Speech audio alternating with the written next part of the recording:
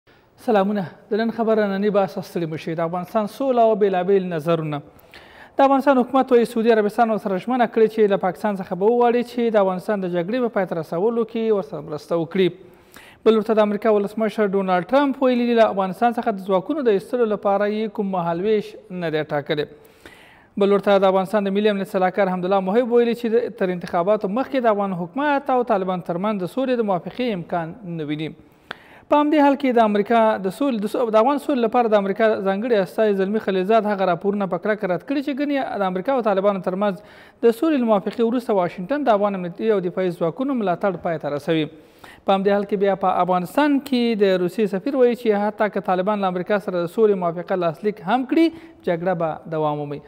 بل لور ته یو وروستی خبر بیا دا وایي چې د امریکا او طالبان ترمنځ د سولې تړون وروستی شو د نن خبره په ننني بحث کې پر همدغو څو مواردو بحث لرو په بحث کې را سره دغه دوه ښاغلي ملمانه دي د سیاسي او نظامي مسلو کارپو ښاغلی محمد نادر معمار صاحب او د ننګرهار د ولایتي شورا وکیل او د چارو شنونکی ښاغلی محمد اجمل عمر صاحب زه شکر الله پاڅم تاسو دواړو ښاغلو ته ستړي مه شئ هم په خیر راغلی شکر ښاغلی معمار صاحب لومړی هم که په افغان سوله کې د پاکستان پر مرستې او پر رښتینولۍ باندې وغږېږو که څه هم د امریکا او د طالبانو ترمنځ خبرې تقریبا وروستي پړاو ته هم ورسېدې او داسې هم ځینې رسنۍ راپورونه ورکړي چې ګوندې تړون هم نهایي شوی دی بیا هم له پاکستان نه په سوله کې د عربو مرسته یا د عربو فشار څومره نتیجه ورکولی شي په کومه برخه کې اوس اړتیا ده کوم څه شته چې لا هم د اندېښنې وړ دی په دغه برخه کې چې فشار راوړل شي بسم الله الرحمن الرحیم د لوی او بخونکي خدای په نامه اجازه راکړئ چې خپل سلامونه تاسو ته او وکیل صاحب ته او د انعکاس ټلویزیون درنو لیدونکو او اوریدونکو ته وړاندې کړم زما په هان باندې اصلا د افغانستان دغه کومه پروسه چې د امریکایانو او د طالبانو ترمنځ دغه د سولې پروسه دونه وخت ونیوله اصلا په دې کې دا اوس هم زه شکمن یم چې د پاکستان اوس هم هغه همکاري نشته چې هغه همکاري ته اړتیا ده په دې معنی دغه خبره جوخته ده داسې ټول په دې پوهېږو چې هر ملک بخصوصا پاکستان خپل ګټو لپاره خپل هغه غوښتنې چې دی لري هغه به تر اخرنۍ دقایقو پورې دی به کوشش کوي چې خپله ګټه هم په نظر کې ونیسي او د افغانستان د سولو په ارتباط د داسې یو توافق ملاتړ وکړي یا داسې یو زمینه سازي وکړي یا مثلا داسې همکاري وکړي چې بالاخره په کل کې په افغانستان کې داسې یو حکومت راشي چې هغه حکومت بیا هم د قوي حکومت ویني او نه وي په دې معنی چې پاکستان هغه کومې غوښتنې چې لري په منطقه کې که موږ تاسو دغه د افغانستان جغرافیوي موقعیت ته وګورو او د ټولو ته معلومه ده چې موږ په داسې یو ځکه موقعیت لرو چې بدبختانه همیشه تل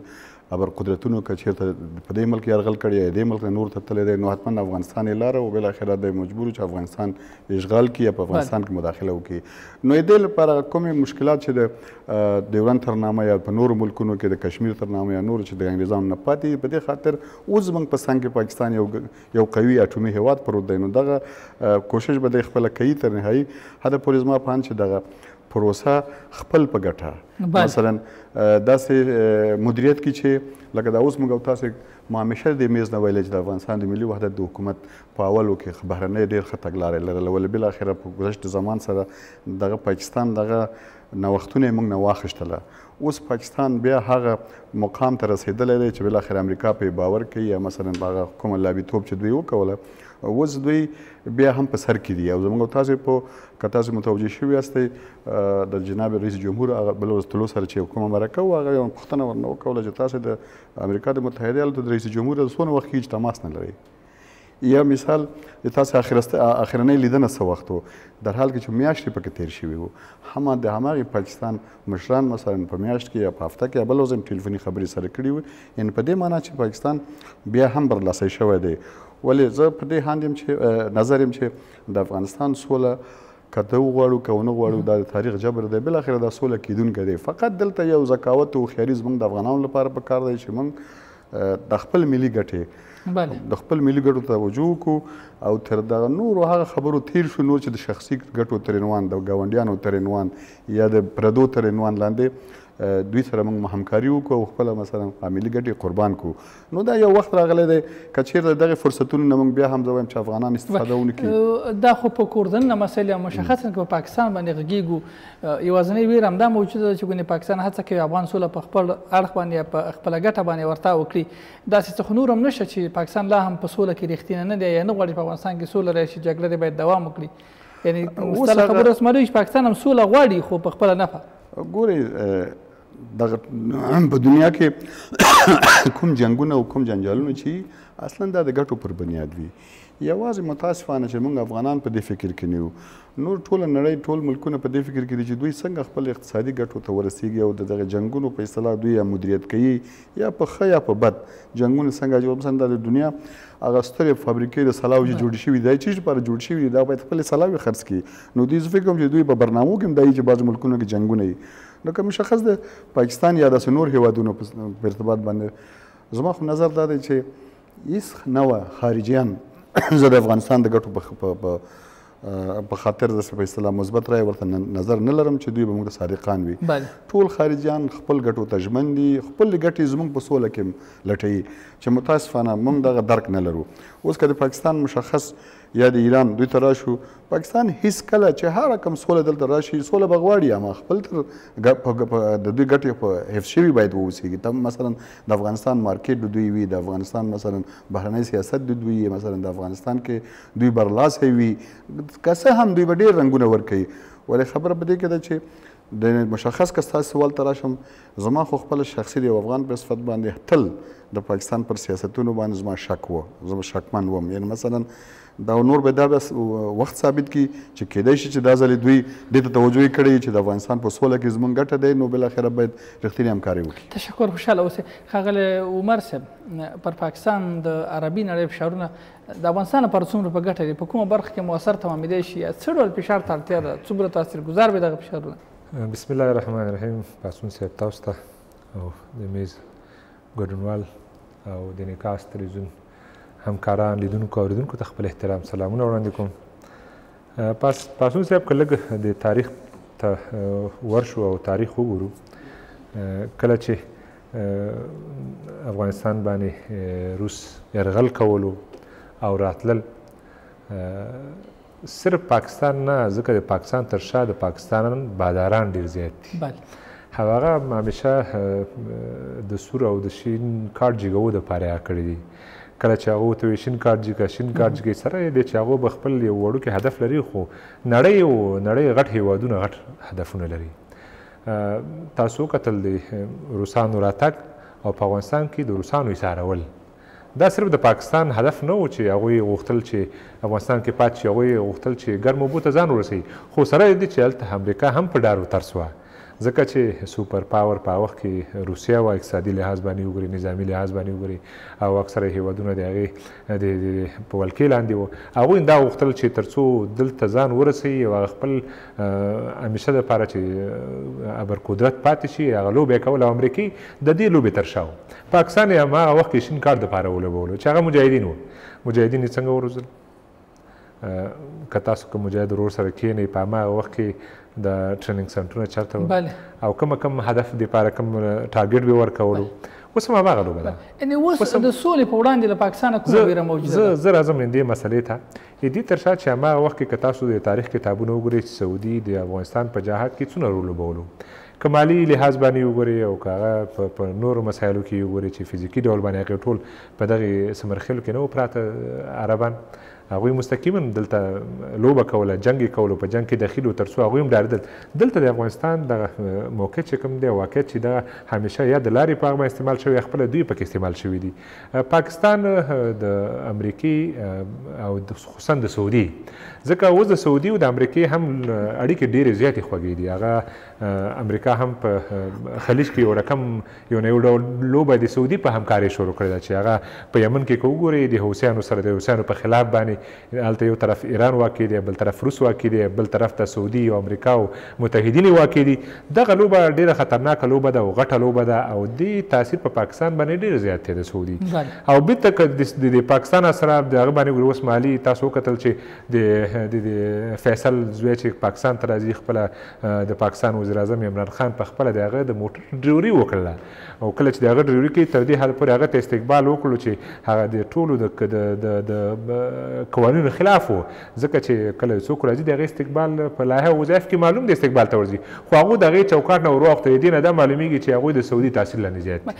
بل د اعظم کله چې سعودي دلته رئیس جمهور سعودي ته منډې کوي هغه علتونه هم موجود دي ترڅو په دوه باندې یو څه نا څه فشار وارد کی او هغه د هغوی فشار لاندې دي همیشه څه خلچي وغواړي فشار لاندې دي اوس هم د هغو سره یو قرارداد موجود دی اندېښنې څه دي د طالبان سره د پاکستان د اړیکو په اوسني پړاو دلته د طالبانو ځینې طالبان د پاکستان د تاثیر لاندې دي خو ځینې نه دي ډېر ډېری کسان داسې دي چې اوس هغوی نور د جنګ نه ستړي شوي دي هغوی نور نه غواړي چې بل د پاکستان دپاره ولوبېږي دا اوس هم تاسو ګورئ تاسو فکر کوئ چې په دې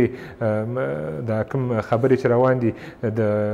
د دې تر شا نه دې تر څنګ هلته پراته دي پاکستان استخبارات پراته دي او هغوی باقاعده په منظمه ډول باندې هغو ته پلان ورکوي هماغه پلان باندې مخته ځي خو حکومت هیڅکله هم د دغې مسلې نه راونه وتلو څه خل وکولی شو چې دوی همیشه د سولې تخریب کوي حکومت همیشه د سولې تخریب کړی دی حالانکه موږ څلوېښت کاله د جنګ نه ستړي یو موږ غواړو چې د ورولۍ فضا کې یوه سوله وشي هغه سوله وشي تاسو وګورئ چې په اسلام کې رسول الله صلی الله علیه وسلم د صلح حدیبیه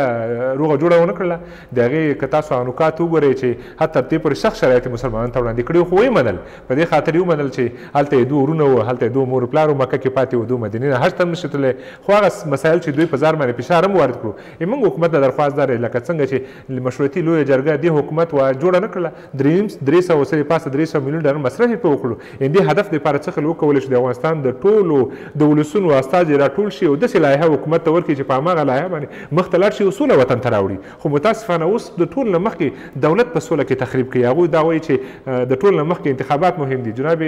پاڅون صاحب موږ د ټول نه زیات خپل ورور مهم دی د ورور وژنه مهمه ده تاسو وګورئ روزانه په افغانستان قصال روان دی په زرګونو کسان نه وژل کیږي ایا دغه خلک د دغه وطن نه دي موږ په دې منو چې له اوس دغه قانون د حکومت چې د سترې محکمې چې د رئیس جمهور هغه موده تمدید کړله خیر د جناب پاڅون صاحب که یو کال نور دې هم تمدید شي دغه موقع خو افغانستان ته سوله راوړل پکار دي خو دغه سوله هلته اطمینان څومره موجود دی چې مثلا سوله به راځي په دې کال کې زه انشاءالله زه انشاءالله مطمئن یم چې افغانستان ته به سوله راځي او طالبان د جنګ نه نور تنګ دي حکومت که تنګ دی حکومت د انتخاباتو او د چوکۍ ډېر زیات کوشش کوي چې خپل وکولی شو چې دا چوکۍ بیا ترلاسه کړو د افغانستان تاریخ معلوم دی چې څوک په چوکۍ کې راغلی دی هغه دا چوکۍ په په په دیموکراسۍ لحاظ باندې په په انسانیت لحاظ باندې په افغاني د مسلمانیت په لحاظ باندې هم دا چوکۍ پرې نه خوله نه پوهیږو د افغانستان دا چوکۍ کې کومه داسې یو خوږوالی پراته دی چې هغه هیڅ کلم دا چوکۍ نه پرېږدي چوکۍ ځان پسې ګرځي خو موږ ته د افغانستان د افغان ورور او د مسلمان ورور هغه هیڅ ژوند مهم دی ترڅو وکولای شو په افغانستان کې خوشاله ژوند تر سره کړو زه مطمئن یم چې دغه سوله به راځي او امریکا هم غواړي هغوی خپل لوی هدف ته ګوري هغه ټارګیټ ته ګوري چې یو ورځ مې ستاسو د میز د لارې دا روښانه کړله چې هغوی انتخابات را روان دي په دوه ویشت کې او هغه انتخابات ته ټرمپ چې کومه وعده د ولس سره کړې ده هغه وعده په ځای کول غواړي تر څو خپل هیواد خپل خلکو ته وښیي چې ما د افغانستان معضله ختمه کړه او ما ته رایه راکړه تشکر خوشاله اوسې یو بل بحث راغلی معمار صاحب هغه له افغانستانه د امریکي ځواکونو د وتلو خبره ده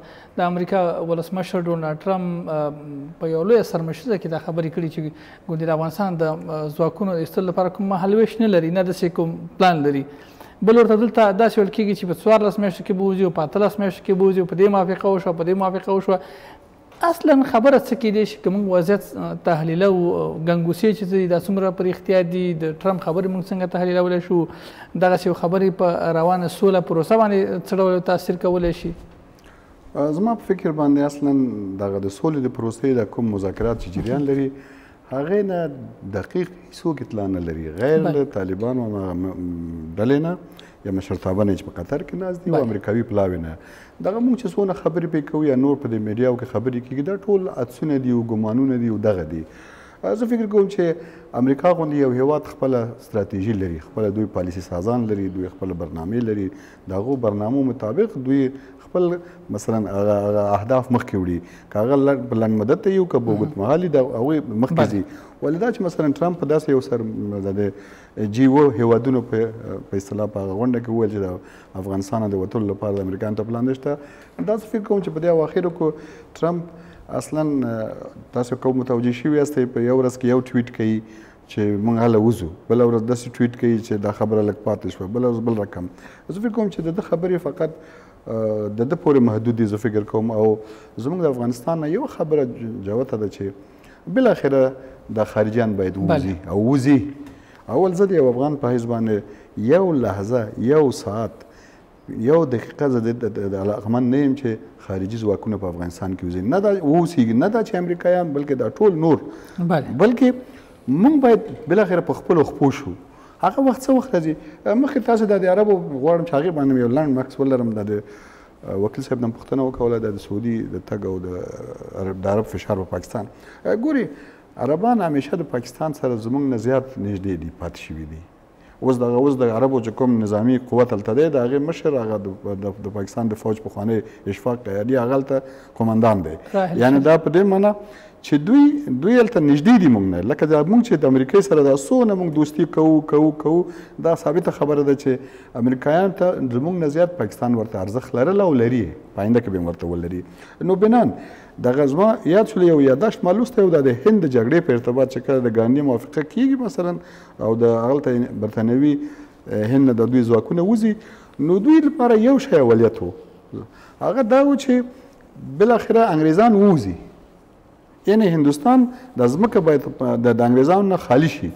دا چې څوک په قدرت کې راځي احمد راځي که محمود راځي دوی ته مطرح نه وو اما هغه سم وشول بل اخره هغه لاړل قوت لاړل زه اوس داسې وایم چې د افغانستان لپاره که دغه اوس چې دا د ټرمپ هره خبره کوي یا هر څه چې کوي بالاخره دا خارجیان چې دلته ته ورسره مقاومت مقاومت کوي جګړه کوي او دا تاریخ ښودلی دی چې افغانان د هر اشغالګر سره د هر زبرځواک سره مبارزه یې کړې کوي بالاخره نه مني د افغانستان نیول به ساده یې هر یو به راځي ننوځي هم بېرته ځان ترې راټولول هغوی دلته د یو داسې ادیره ده چې د زبرځواکونو د قبرستان هم افغانستان مشهور دی نو بالاخره امریکایان وځي زما عرض دا دی چې که چیرته موږ دغه نقطې ته د زمونږ مشرانو باندې زه غواړم چې همدغه میز نه داسې یو نظر ولرم د په خپل سطح د یو ولایت په سطح د مرکز د کابل په سطح د افغانستان په سطح د دنیا په سطح که موږ دغه یو جملې ته معقولیت ورکو هغه دا چې راځي پرې د چې د خارجيان اول ووزي راځي پرې د چې سره د دې لپاره جنگ نور نو کو چې ته په قدرت راځي که زه په قدرت راځم کچیر ته حاکم ټیم دا اوس په افغانستان کې دی دی یقینا د سولې لپاره مثلا هغه همکاري دوی خپل نه کوي اصلا اوس د عربستان ته تک څه معنا لري د قطر د طالبانو حمایتګر دی په ټول دنیا پوهیږي هغه کومه طریقه چې اسلامي طریقه غوي لري دا غوي بیل طریقه ده د سعودي عربستان طریقه بیل ده د وهابیت طریقه ده نور دي نور دي نو ښه کله چې هغلته د سولې مسایل نږدې کیږي دلته جناب ولس ولسمشر صاحب مثلا هلته ورځي ښه دا به یو دولتي سفر یو څه قرارداد به می اما په څنګه زه مطمئن یم چې هغه ته ویل چې په امریکا باندې فشار راوړي چې دغه د سولې په ارتباط باندې کوم دیدګاه چې دوی لري باید هغه وشي نو بنا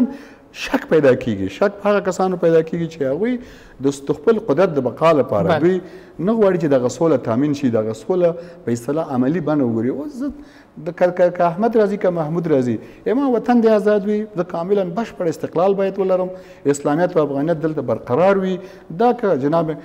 غني په کاینده کې راځي که دا په طالبان راځي مونږ لپاره څه نه دی بهرني ځواکونه باید ووځي ټول روسیه هم دا غواړي پاکستان هم دا غواړي د افغانستان نور ګاونډیان هم دا غواړي لامل څه دی ګوري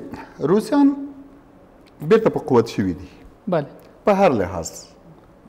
دونه گنجائش نشته زه تفصیل پې ورکم هغه په قوت شوی دی دوی یو تړون لري په دنیا کې یو اتحاد لري اتحادونه لري دوی مثلا څو څو ملکونه سره یو ځای شوي دي د خپل ګټو په خاطر څوک چې د امریکا سره مخالفتون لري لکه روسان لکه مثلا ایرانیان لکه مثلا نور نور نور دسه دوی غواړي چې مثلا امریکا د منطقې نه ووځي شاید د دوی په نظر که چېرته دوی خو داسې فکر کوي چې داعش کومه دغه اوس کومه نظامي ډله چې دلته شته او دوی فعالیت کوي دوی وایي چې دا د امریکا لخوا جوړ شوی دی امریکا مثلا غواړي چې دا نور هم مخکې راشي مثلا د دوی هیوادونو ثبات له منځه لاړ شي یا مثلا دوی په جنگونو کې راګیر کړي نو دې لپاره هغوی تاکید به په دې کوي زما په نظر باندې چې یو دلیل به دا وي چې د امریکا د دې ځینې ووځي تر څو چې دغه دغه جوړه شوې کوم بله ډله چې ده دا ضعیفه شي او بله دا چې په اقتصادي لحاظ ما مخکې اشاره وکوله چې افغانستان بهترین او ښه مارکیټ دی داس فکر چې خلک نه کوي چې دا 15 میلیون نفوس لري ولا موږ یو ستر جغرافیه لرو موږ ستر شهرت لرو موږ مثلا ډېر اړتیاوې لرو اې دوه لپاره هم او په درېمه مسله دا ده چې هغه نظامی پیمانونه چې دوی خپلو کې لري مثلا دا اوس پاکستان باید باید وایم چې متاسفانه په خپل ډیپلوماسۍ کې په خپل هغه په اصطلاح هغه پالیسیو کې دونه کامیاب راوتلی دی چې هماغه روسان چې د دو پر ضد و هماغه روسان چې دو سره د د شوروي د وړه کېدو په حساب چې د افغانستان د مجاهدینو سره یې هر څه کومک وکړ یا پلان چې و دی پکې لاس لرله امانن و هغوی ښه دوستان دي نن روسان بیرته دې ته حاضر دي چې د پاکستان د سترګو نه بیا افغانستان ته هغه هم وګوري لکه چې دا اوس د امریکا عینکې بیرته ور واغوستلې دا اوس زه درته وایم کوم عینک چې پاکستان یو وخت د امریکا په سترګو کې وو او یو څه ورنه ایسته شوی وو موږ نوی نوی افغانستان اتلس کلن لاسته راوړنې ترقي پیشرفت دیموکراسي دا موږ ویله اما متاسفانه چې اوس بیا هماغه عینکې د امریکا په سترګو ته اچولی ده نو بنا دغه په څنګ کې دا کوم هیوادونه چې دي دوی د امریکا چون دوی لپاره خطر دی خپلې ګټې وساتي د افغانستان باید خپلې ګټې وساتي چې د روسیې ګټه پکې کې چې امریکایان وځي چې د سیمې قدرتونه او د سیمې هیوادونه د خپل اتحاد لري د امریکا ته نشي زغملی اما د افغانستان ګټه په څه کې ده؟ ګورې بدبختانه چې د افغانستان د ګټې لپاره مونږ هغه مشران یعنی هغه مسؤل شخصیتونه چې په دې وطن کې شته هغو ته چا موقع نه دی ورکړی دا وګوري کله د افغانستان د اوسنۍ د څلوېښت کلنو تاریخ موږ او تاسو د خپل تاریخ وی چې وی ګورو ټول زور بالا زور دی او ډلې دی او ټپلې دی او ځمکې غصب دی او پلانې دی په قدرت کې برخه ده او دا ده موږ داسې یو فکر تر اوسه ملي فکر نه دی کړی چې راځي داسې یو حکومت جوړ کړو چې زمونږ د ټولو افغانانو ګټه پکې وي، زمونږ هویت پکې وي، زمونږ هغه ملي هغه هغه ارزښتونه پکې وي، دا متاسفانه چې نه کړی. اوس ګورې جناب رئیس جمهور ډېر کسان به شاید تایید کړي، حمایت یې کوي، اما زه درته وایم چې زه د یو افغان په صفت د ده سیاستونه انتقادوم، په دې انتقادوم چې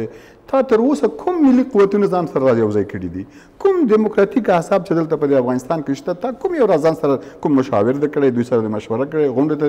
اوس هم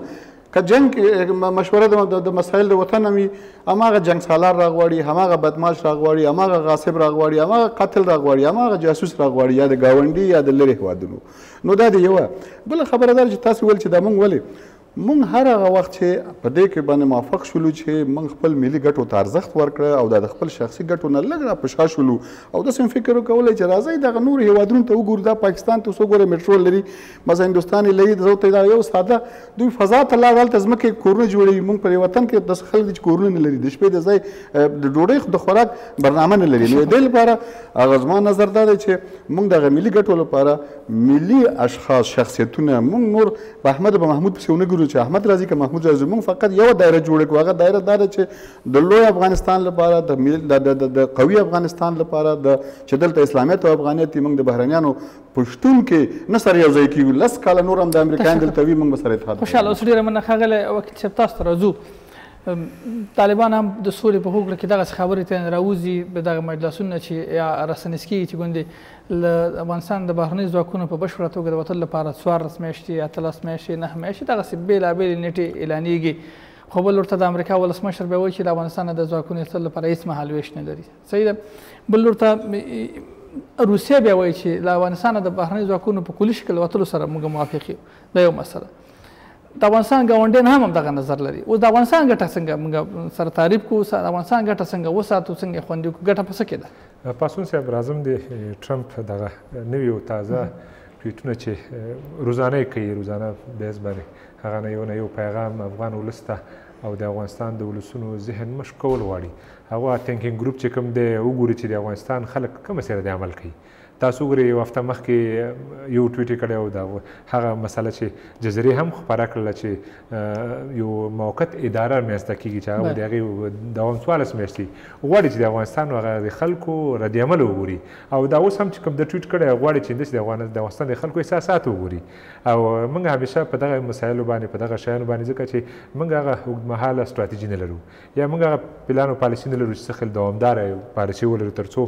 موږ خپلې پالیسي بنیاد باندې لاړ شو او خپلې پالیسي باندې لاړ شي هغه موږ سره همیشه د چلو بکړي او ټرمپ خو یو لیوانه شخص دی تاسو وګورئ یو هفته مخکې یو بل ټویټ کړو چې کوم هوا تللو چې په موږ باندې دغه خسته جلکې خرڅې نو درزم کړي نه درزمه دا ټویټ هم کړی و یو هفته مخکې په رسنیو کې او که بل ټویټ ته وګوري کله چې د پاکستان او د د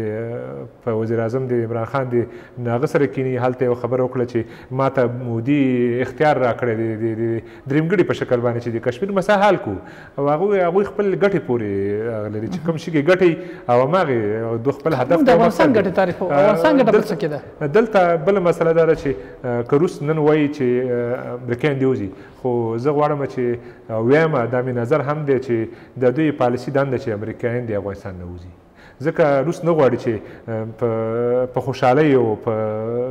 هغه دې دوی بیته لاړ شي ځکه چې هغوی هم دا روس غواړي چې دا دا جګړه اوږده شي ځکه هغوی خپل اهداف لري هغوی نه غواړي چې دا کومه لوبه بله را روانه ده او هغې لپاره تیاری ونیسي هغوی وایي چې که چېرته روس د دې امریکا د دې نه وځي خو امریکا په بله لوبه کې دخیلېږي چې هغه د ایران لوبه ده او هغوی نه غواړي چې هغه ایران د دوی یو ستراتیژي پارټنر دی د روسانو د نورو هیوادونو او هلته په سوري په یمن کې په دا جګړه ګرمه ساتلې ده او روس غواړي چې د امریکا د دلته پاتې خو پاکستان بل بل یو عمل کوي هغه وایي چې امریکا لاړ شي ترڅو د میدان او فضا بیت دوی ته پاتې شي او دوی چې څخه لکه په خو د مجاهدینو روسته غلوبه کوله یو ځل بیا ما غلوبه ته تکرار کی ځکه هغوی هم کمزوری حکومت غواړي په افغانستان کې هغوی یو باثباته قوي او په خپلو پښو ولاړ حکومت نه غواړي خو متاسفانه متاسفانه موږ حکومت چې کله د یو مختصر یا د وړوکي شي ګټه د هغو ته ښکاره شي هغو به دا ټوله پالیسي ختموي د منځه وړي هغه وړوکي هدف او مقصد ته ځان رسي تاسو باور وکړئ دا اوس هم د سعودي ته د د اشرف غني رئیس جمهور تګ دا یو په بل ډول باندې زه کوم یو دا چې څه خل وکول شي سعودي په پاکستان فشار وارد کړي بل لوبه دا هم کېدلی شي کېدای شي د د د ټرمپ دا کومه نوې ټویټ چې کړی دی چې موږ نه غواړو چې د افغانستان خپل عسکر وکاږو او دا یو بل خطرناک لوبې ته هم دا اشاره ده هغه په دې معنی چې دا انتخابات کېدای شي وشي کېدای شي رئیس جمهور د امریکې ټول شرطونه منلي هغه شرطونه چې همليکه يې غواړي چې خپل د دغې اشرف غني نيواکي پوره کړي نو کېدای شي هغه شرطونه يې منلي او پاکستان باندې خپل اغېز واچي تاسو وکتل چې تېر انتخابات کې په په ننګرهار کې نه په پکتيا او پکتيکا کې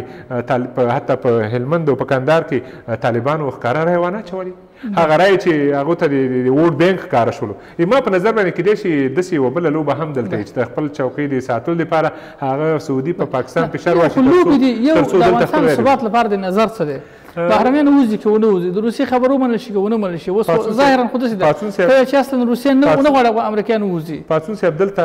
حکومت ځینې نیمګړتیاوې لري هغه دا دی چې ملي مشارکت نشته.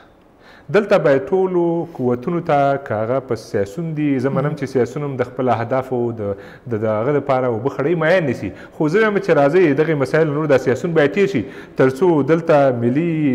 وحدت قائم شي او دغه د دې بحراني حالت د وتلو یو طرحه والي هغه طرحه چې دوی موږ په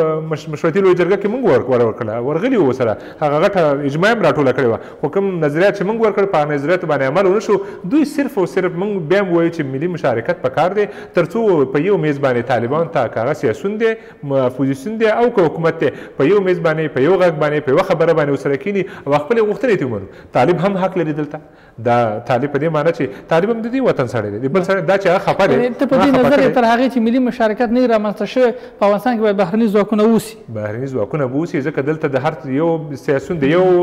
هېواد جاسوس دی او بل سیاسیون د بل چا او حکومت کې ډېری خلک داسې دي، حکومت کې هغه مخکې به چې پنځم ستون به ورته ویلې هغه په چې په نظام کې موجود دی په حکومت کې موجود دی هغوی هم دغه سوله نه غواړي ځکه هغوی هم په دې کې خپلې ګټې روي تاسو وګورئ چې په دې حکومت کې هغه خلک نه ناست چې د خارج نه راغلي د خارج پاسپورټ خلک دي هغه نه ګوري ته ماته یو دغسې لوړپوړی چارواکی وښیه چې هغه د افغانستان تابعیت یې ولري ځکه هغوی هم دغه غواړي، هغوی په ګټه کې په دغه جنګ کې ګټه ګوري او هغه دغه دغه جنګ ختمول نه غواړي، ځکه دا د بله. بل هېواد نه راغلي خلک دي، دوی خپله طرحه نه غواړي، که حکوم خلک حکومت ته طرحه ورکړي، د خلاصون لاره ورکړي، خپل مشران وغواړي، نو هغوی بیا دوی نه مني، په دې معنی چې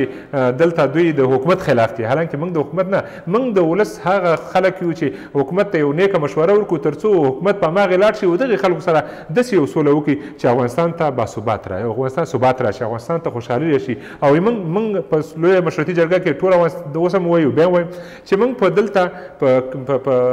په هغه باندې چا سره مابیا نه کوو نم په اسلامیت باندې چا سره کوو نه په قانون باندې چا سره کوو نه هغه ادارې چې دلته جوړښت په دې شل کالو کې قرباني ورکول شوې ده په دغه اداري واحدونو باندې هم چا سره معاملې کوو خدای نخواسته چې یو ځل بیا بل بحران ته لړ خو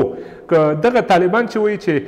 اول تاسو ملا ضعیف پرون خبرې واورېدلې ملا ضعیف هم ویلي که دا انتخابات وشي یعنې دا په معنا د بحران دی ځکه هغوی هم وایي چې موږ هم خپل حکومت کې خپل عکس ځان کتل غواړو هغوی د حزب اسلامي د تړې نه هم ډارېږي، هغه تړون چې حزب اسلامي سره حکومت کړی و او څخه یې له حزب اسلامي بیرته تخریب شول او حزب اسلامي هغه وعدې چې د حزب اسلامي سره دې حکومت کړې وې هغه یې هغې به یوې وعدې باندې هم وفا نه کړه هغه طالبان اوس هم هماغه شنه ډله ده چې احتیاط کوي او ډېر ډېر زر دا پروسه نهایي کوي نه او په دې کې ډېر مسایل ډېر خنډونه را پیدا شول نه هم پړاو ته ورسېدل او میاشتې میاشتې ولګېدلې اوس هم طالبان ډېر د احتیاط نه کار اخلي تر څو موږ سره هم د طالب د حزب اسلامي غوندې معامله ونه شي. او زما په نظر باندې حکومت ته لږ انعطاف په کار دی هغه په دې معنی چې د صلح حدیبیه کې هم داسې راغلی رسول الله صلی الله علیه وسلم کله چې زی د حج عمرې لپاره ځي نو یو ځي ته رسیږي د مکې خلک هغه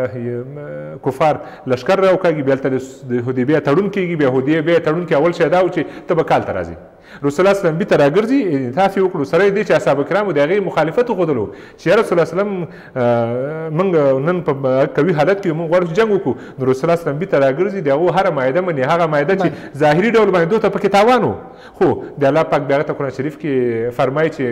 هغه دا چې په دې کې ظاهري ډول باندې تاسو تاوان دي خو باطن کې تاسو وګټله او ما چې وشو کال ته حج تم راغل حج یې مو کړل او نفوس يم پيدا کړلو غم و ښاديان يم سره زيات شولي تر څو په ذهنيتونو باندې کار ونشي تر څو يو تر بله نږدې ونشي نطاق پکې ونشي يو تر بله خوږوالی پيدا نشي لنډ مثال جناب پاڅون صاحب تاسو درکوم هغه ورځو کې که تاسو ياديږي چې نن نه تير کال د وړوکي ستر اختر وکړو وړوکي اختر وکړو چې طالبان سره درې ورځې اوربند وو تاسو باور وکړئ هغه خوشحالي تاسو ولرله هغه درې ورځې خوشحالي چې د ټول افغانستان خلکو ښه ولمانځله هغه يادګاري ورځ چې اوس هم خلک ويل چې داسې ورځ به وي چې افغانستان ته سوله راشي ولې؟ دا یې مونږ تاسو په لاس کې ده، حکومت په لاس کې ده، مونږ دې حکومت تخریب نه کوو، حکومت ته اوس هم وایو، خیر ده ته دې په چوکۍ کې وي، خیر ده ته دې په چوکۍ کې وي، نن دې شپږ میاشتې تمدید کړلې، یو کال نور هم تمدید کا، حکومت یې تمدید کا، کیدای شي که دا طالبانو سره ته سوله وکړې او آینده په یو کال کې، یو کال نه وروسته اتا په راس کې بیا انتخابات وشي، اما په نظر باندې به خلک به هم تشویق باندې رایه ورکړي، اما په نظر باندې حالت چې وګورې، حالت ته وګورې، بم، انفجار، وژنه، یو به انتخابات باندې د خلکو باور هم ختم شوی دی. بې اعتمادي را پیدا شوې ده، شفافیت د منځه لاړ دی، که څوک پیسې ولري، څوک زور ولري، څوک هغه ولري، هغه انتخابات کې هم کامیابېږي، نو دغه فضا به هم ختمه شي تر څو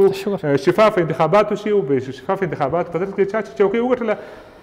تشکر خوشحال اوسي نتیجه دا شوه چې ملي مشارکت باید رامنځته شي حکومت باید انتخابات په هغه صورت کې وکړي چې ټولې خواوې پکې ګډون وکړي او طالبان هم باید د سیاسي نظام یوه برخه وګرځېږي او په افغانستان ځان د افغانستان طبع احساس محسوس کړي او تر هغې باید چې په افغانستان کې ملي مشارکت راځي باید نړیوال ځواکونه دلته اوسي مننه تشکر ښاغلی معمار صاحب یوه بله برخه هغه ده چې تر پرونه داسې تبلیغات کېدل چې ګونې له افغانستانه د بهرنیو ځواکونو په وتلو سره یا د سولې په تړون سره بخښنه غواړم چې د طالبانو سره امریکا کوي د افغان ځواکونو روزنه ودرېږي یا ملاتړ ودرېږي د امریکایانو ورسره دلته خلیلزاد ټویټ کوي چې نه دا که سولې تړون وهم شي موږ د افغان ځواکونو روزنې ته دوام ورکوو په اوس وخت کې که موږ طالبان سره سوله کېږي له هغې وروسته د افغان ځواکونو تجهیز روزنې او اکمال او سپورټ ته څه ډول اړتیا ده په کوم برخو کې مواردو کې موږ ډېره اړتیا ورته لرو یا دغه ضرورت موږ په کوم برخو کې ډېر محسوسوو جناب پاسون صاحب ګوري تر څو چې د دوی هغه کومه توافق چې ده نهایی نشي یعنی اعلان نشي هغه پورې که خلیلزادي او که هر څوک وي دوی مکلف دي چون ستراتیژیک پیمان دلته لري د افغانستان سره امنیتي پیمانونه لري نو دوی به روزنه هم کوي دوی به هر څه کوي تمویلي به هم اکمالات به هم کوي ولې کله چې دغه توافق نهايي شو او بالاخره مذاکرات بین الافغاني شو او دلته تصمیم ونیول شو چې دا کوم نوع حکومت دلته راځي آیا دغه حکومت پاتې کیږي آیا شریکان کیږي آیا ټاکنو ته ځي آیا ټاکنو نه په وروسته کوم حکومت چې راځي زه فکر کوم چې بیا دا نورې خبرې هغلته کنوانسیونونه او قراردادونه بین المللي وجود لري چې مثلا یو حکومت دلته راځي او قدرت په لاس کې نیسي همدا حکومت یا بل یا بل دوی بیا کولی شي دنیا د هر ملک سره نوي تړونونه به امضا کوي او پخواني تړونونه به ټول فسخ کېږي، دوی به نوي تړونونه امضا کوي او په هغه کې به د ټولنې ټولو برخو ته به توجه کېږي، مثلاً اقتصادي رشد ته به کېږي، تجارت ته به کېږي، په څنګ کې امنیتي مسایلو ته به کېږي، دې ټولو ته به کېږي، خو دغه اوس دم در حاله زما خپل شخصي نظر دا دی چې دوی په دې خاطر چې د د امنیتي ځواکونو پر روحیه یا مثلاً د دوی پر موجودیت باندې له تړون نه وروسته افغان ځواکونه بهرنۍ مرستې ته اړتیا نه لري؟ ګورئ د افغان ځواکونه زه د یو نظامی په صفت درته وایم چې افغانان چې د مور پیدا کیږي دا ټول نظامیان دي دا ټول د وطن د دفاع لپاره تیار تربیه شوي خلک دي خو بل د مسلک په مسلکي لحاظ باندې قوت دی یو د دوی ګوري زه راځم هم دغه ستاسو خبرو ته راځم ګوري کمون سره کمون سره دغه تړونه چې دا اوس امریکا لري یا نورې لري که چیرته دوی موږ سره صادقان وی اول که د دوی توافق وشو چې دوی وځي باید آیا د دغه سلاو چې دوی سره دلته شته د دې سرنوشت آیا روښانه شوی دی مخکې ځل غوندې دا به دوی ګاونډیان ته ورکوي که به موږ ته یې پرېږدي تجهیز لپاره یا مثلا نور نور د دې لپاره خو موږ بیا آینده کې تصمیم نیولی شو چې مثلا دغه د افغانستان امنیتي ځواکونه دا اوس دونه رسېدلي دي